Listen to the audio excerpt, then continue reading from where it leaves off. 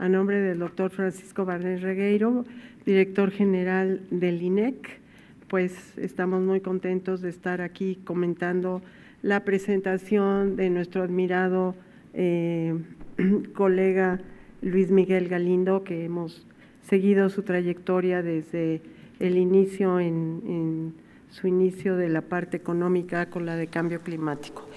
Em, a nosotros eh, nos interesa decir que el tema de cambio climático eh, no es un tema ambiental, ya es un tema de desarrollo. Entonces, cuando nos referimos a cambio climático, estamos hablando del desarrollo y del desarrollo del país. Sabemos que un país con crecimiento bajo en carbono, con todos los cobeneficios que esto conlleva, y un país resiliente al cambio climático, eh, tendrá un desarrollo sustentable. Claro, esto es fácil decirlo, pero al observar y, poner mucha atención a la presentación de Luis Miguel Galindo, vemos que para lograrlo, pues de las 7 toneladas de CO2 per cápita, llegar en 40 años a 2 toneladas para tener verdaderamente un desarrollo sustentable, eh, pues sí está difícil y hay que seguir esto muchísimo de los estudios indicativos eh, para lograrlo. Yo traje eh, a petición del doctor Adrián Fernández una presentación que será muy, muy rápida y, estoy totalmente de acuerdo con, me gustó mucho cómo presentó Luis Miguel Galindo el error 1 y el error 2, el, el privilegiar el desarrollo económico sobre el social y el ambiental, pero desde luego se puede hacer siempre y cuando sea con un desarrollo bajo en carbono y Em, tomando en cuenta que México es un país muy vulnerable al cambio climático, que las emisiones mundiales siguen creciendo y siguen creciendo de una manera impresionante y lo que nos queda a los países es prepararnos y adaptarnos al cambio climático. Siguiente, por favor. Bien, em, para esto la Administración Pública Federal eh, desde 2005 tiene una comisión intersecretarial de cambio climático, tiene un PEC especial de 2009 a 2012, que en la nueva administración habrá un nuevo programa especial de cambio climático con metas específicas para el próximo sexenio y seguiremos con la eh, elaboración de comunicaciones nacionales informando lo que hace el país cada cuatro años. Y esto ya es obligatorio a partir de la COP de Cancún. Y tendremos que elaborar informes bianuales eh, de, cómo México eh, establece NAMAS, acciones nacionales apropiadas de mitigación y su impacto en la política pública. Entonces, los informes bianuales, el próximo México lo tiene que presentar en 2014 y debe de llevar otra vez esto, las circunstancias nacionales del país para ese año, un inventario actualizado eh, el último que tenemos es a 2010, vamos a tener el inventario a 2012 y eh, las acciones de mitigación que está llevando el país dentro del PEC y sus implicaciones en las políticas. Em, algo que es muy importante es que el Instituto Nacional de Ecología y Cambio Climático desde 2008 ha incidido en todos los estados del país para que tengan sus inventarios estatales de emisiones, los ha llevado de la mano con guías, con capacitación, y lo mismo que corran escenarios climáticos para ver qué tan vulnerables son al cambio climático en sus principales sectores productivos y que puedan eh, prepararse, adaptarse al cambio climático. Y desde fines del año pasado, eh, con fondos del gobierno británico, el INE tiene una unidad implementadora de siete personas, dos expertos en inventario, dos en escenarios y dos en adaptación para asesorar a los municipios del país en que elaboren sus planes de acción municipal, sus PACMUNES. Siguiente, por favor. Bien, esto es muy importante porque son, esto, como comentaba el doctor Galindo, las emisiones por quema, cuidado, nada más esquema de combustibles fósiles, ahí no está la parte de cambio de uso de suelo, estas cifras son 2011 de la Agencia Internacional de Energía de la ORDE y como podemos ver, pues China ya casi llega a los 7 mil millones de toneladas de CO2 seguido ya de Estados Unidos por más de 5 mil. Entonces, entre los dos países tienen más del 50% o el 50% de las emisiones y podemos ver en azul el lugar que tiene México. Sigue, pues desde el primer inventario, no teniendo más de 1.7% de las emisiones globales. Siguiente, por favor. Y aquí tenemos en las emisiones de CO2 per cápita de México, y esto es con el inventario 2010, eh, per cápita por consumo de combustibles fósiles. En amarillo eh, están las cifras de la Agencia Internacional de Energía y en azul las cifras del Inventario Nacional de Emisiones de Gases de Efecto Invernadero que acaba de terminar el INEC. Entonces, algo que es para nosotros muy importante siempre es comparar nuestras cifras con las cifras de la Agencia Internacional de Energía y vemos esto que es, casi siempre vamos eh, de la mano entre lo que se publica internacionalmente y lo que publica eh, eh, la Secretaría de Medio Ambiente. Siguiente, por favor.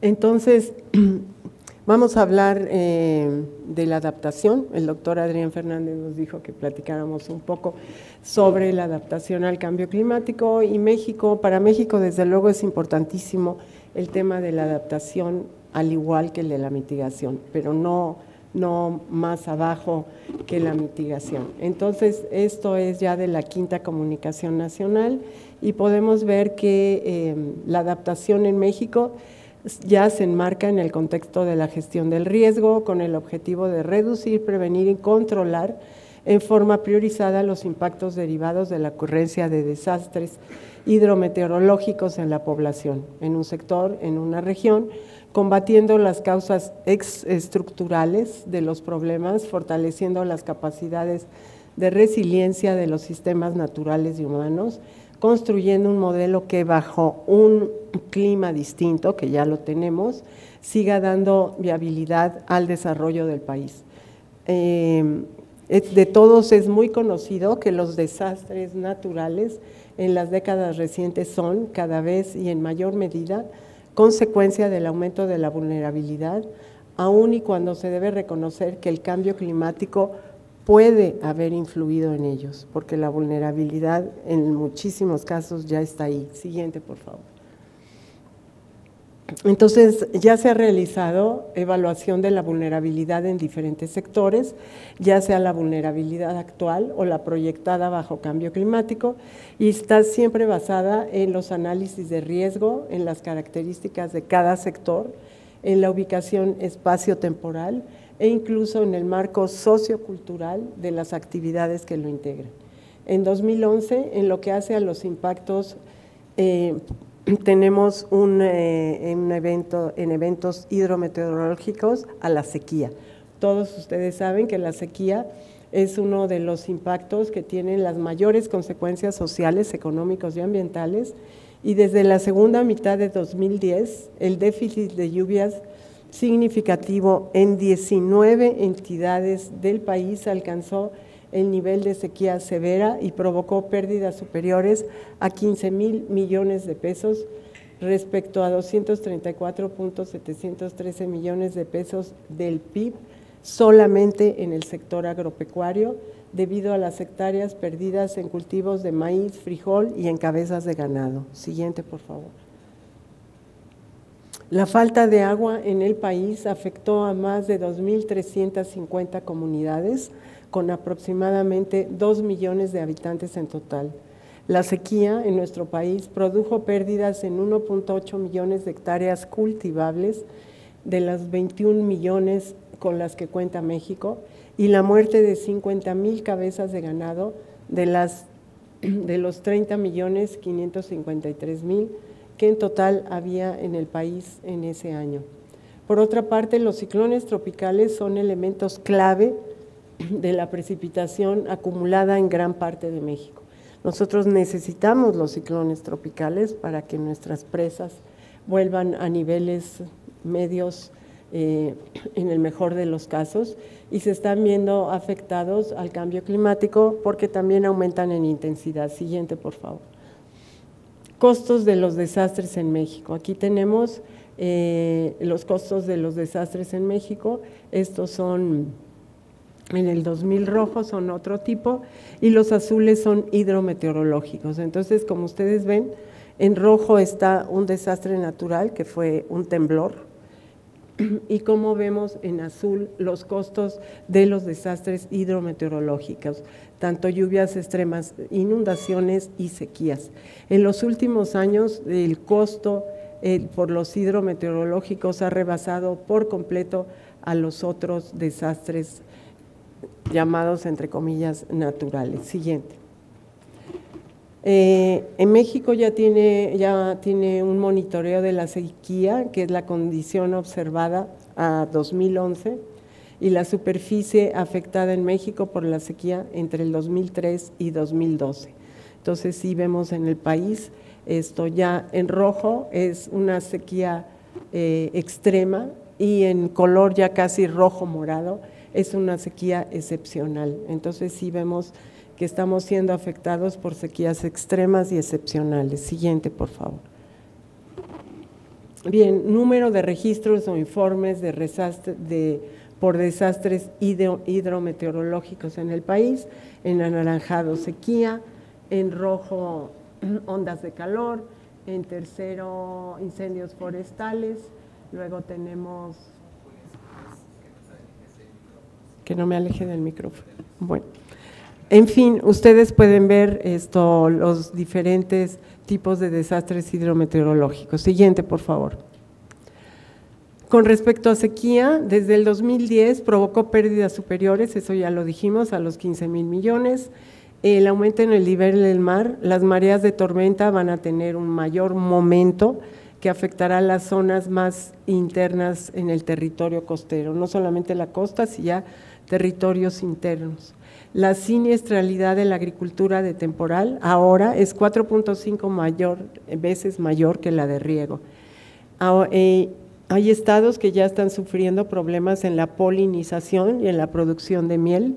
En 2010, el valor del servicio de polinización por los insectos fue de 43 mil millones de pesos.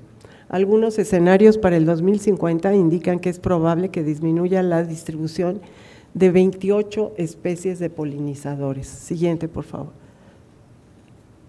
Acciones de adaptación en cambio climático, los impactos económicos. Ya vimos que en la última década los de tipo meteorológico representan el 90% de los impactos totales de los desastres naturales en México. El Fonden en el 2010 destinó 21.960 millones de pesos para la atención y prevención de los desastres. El componente de atención a desastres naturales llamado cadena de la Secretaría de Agricultura en 2011 aseguró 8.12 millones de hectáreas de temporal en el país, beneficiando a una población de 2.6 millones de productores de bajos ingresos en 30 entidades federativas. Siguiente. Eh, algo que, sí que es importante destacar, que México realizó hace casi año y medio, es que la Convención Marco de las Naciones Unidas sobre el Cambio Climático, con una representante de la CONAGUA, eh, introdujera el tema del agua de manera horizontal en el programa de Nairobi de la Convención Marco. Antes de esto es increíble, pero la Convención Marco de las Naciones Unidas no había incorporado el tema del agua de, manera transversal en, sus temas. Eh, la Agenda 2030 de Conagua tiene 50 mil millones de pesos anuales para cumplir sus objetivos y ellos mismos dicen que de no actuar significarían costos de hasta 1.5 billones de pesos. El programa de agua de reservas de México ya está identificado, trabajan de manera conjunta la Conagua y WWF. Identificaron 189 cuencas factibles que funcionen como reservorios de agua. Y tenemos también otro ejemplo de adaptación en la Ciudad de México, que es el túnel emisor oriente. Muchos pueden levantar la mano y decir, no, estamos en contra del túnel emisor oriente. Sin embargo, sí es una medida de adaptación para evitar eh, esto, las grandes inundaciones en nuestra ciudad. Siguiente, por favor. Ustedes saben que ya tenemos desde hace muchos años el tema de adaptación al cambio climático en humedales costeros del Golfo de México, ya se firmaron con los municipios respectivos y a partir del próximo año empiezan a, construirse barreras y a reforestar el manglar en cinco sitios piloto. Eh, lo que es muy importante es que México ya lleva muchos años realizando estudios de qué tan vulnerable es al cambio climático en el sector agrícola, en el hídrico, en los bosques, etcétera. Pero lo importante es ya actuar y ya instrumentar las medidas de adaptación en nuestro país, porque si no, ya vimos lo que dijo Luis Miguel Galindo, que esto, pues sí, nosotros podemos eh, tener hasta una pérdida de un 5% del PIB si no llegamos a actuar de manera eh, esto rápida y efectiva. Por ejemplo, ya en Guanajuato tienen proyectos de cosecha de agua de lluvia en, conjuntos habitacionales. Siguiente, por favor. Y eh, tenemos en línea cursos para que todos los estados tomen 24 eh, horas al día, 7 días de la semana con tutores en línea, cursos de cómo elaborar planes estatales y municipales de cambio climático. En el país hemos capacitado a más de 730 participantes, hemos tenido 20 talleres regionales sobre elaboración de inventarios, escenarios de emisiones y medidas de mitigación.